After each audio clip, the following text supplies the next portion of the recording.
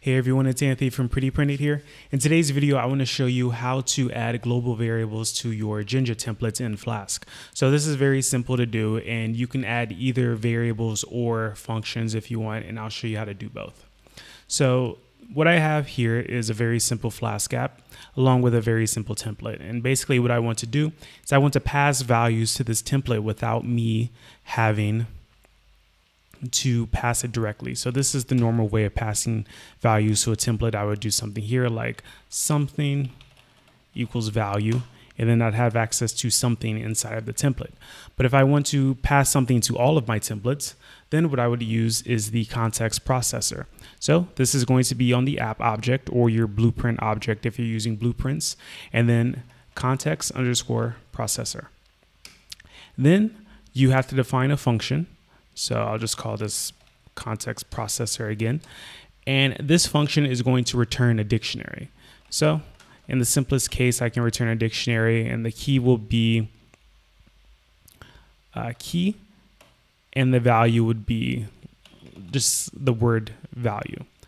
So if I reference the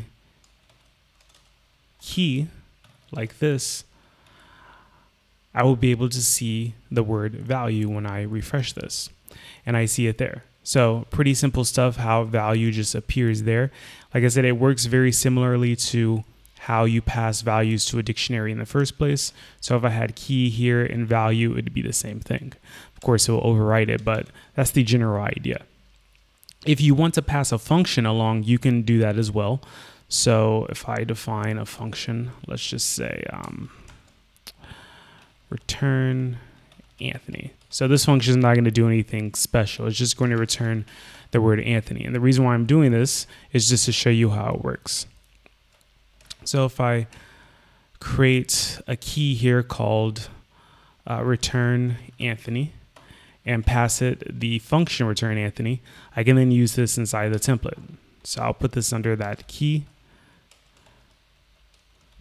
So return Anthony. And since it's a function, I need to use the parentheses.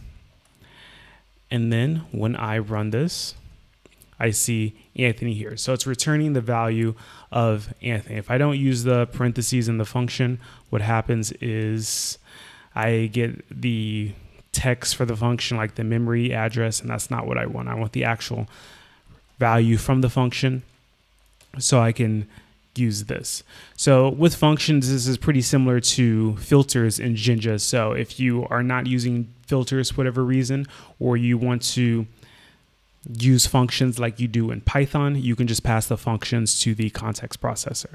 But just note that the function that you decorate with this app.context processor just needs to return a dictionary and then anything in that dictionary will be available in all of your templates. And you don't have to pass it directly to each template. So this is useful if you have some function that you want to use across many templates or if you have some global variables that uh, may be useful in your templates something like a cross-site request forgery token would work or um, maybe the name of something that just goes across all of your templates. It can be whatever you want, but this is a way to save on code when it comes to reusing the same values over and over in your templates.